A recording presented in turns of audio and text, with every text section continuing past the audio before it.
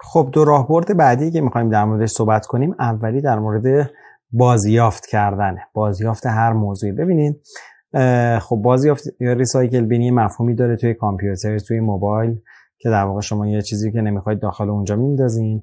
مفهومی که اینجا داره این مقدار عمیقتر و مهمتر و گسترده تره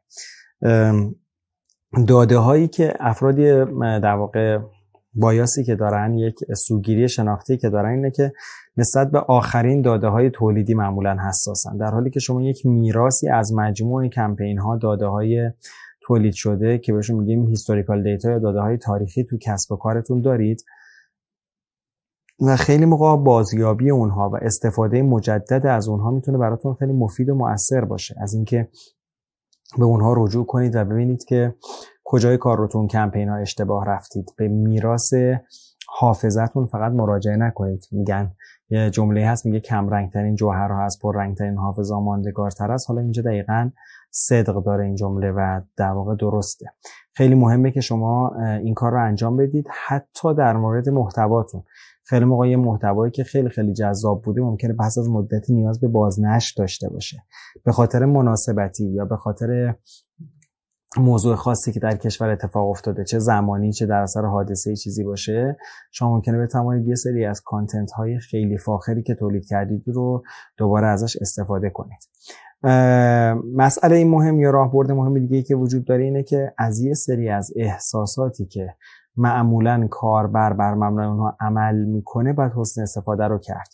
مثلا یک کدوم احساس ارجنسیه احساس اینکه اگه من نجنبم فلان چیز تموم میشه. برای همینه که خیلی موقع ها شما می‌بینید که شرکت های خودروسازی محصولی به تیراژ محدود تولید می‌کنن.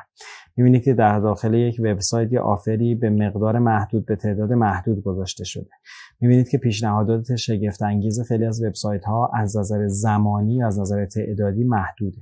برای اینکه این حس در افراد ایجاد میشه همون چیزی که بهش میگن فومو. در واقع این حس feeling of حس کردن اینکه missing out. من دارم از داخل این دایره بیرون قرار می‌گیرم. حالا باز اینجا بحث مهمی شکل می‌گیره که آیا این کار از نظر اخلاقی درست هست یا نه؟ اگه من از یک جنسی 300 تا در اختیار دارم خب و بگم 100 تا در اختیار دارم ارزش محدوده 90 تاش فروش رفت 10 تا بیشتر نمونده خب این احتمالا نظر اخلاقی کار درستی نیست و به اون اصول اخلاق کسب و کار یا business ethics ممکنه تطابق نداشته باشه دیگه. بنابراین من توصیه می‌کنم در استفاده از این روش ها افراط نکنید و حتما به اون کدهای اخلاقی که تو کسب و کارتون باید داشته باشید و انشالله که دارید اینها رو تطبیق بدید که مطمئن باشید جنبه خدایی نکرده گول زدن کاربر درش به وجود نمیاد.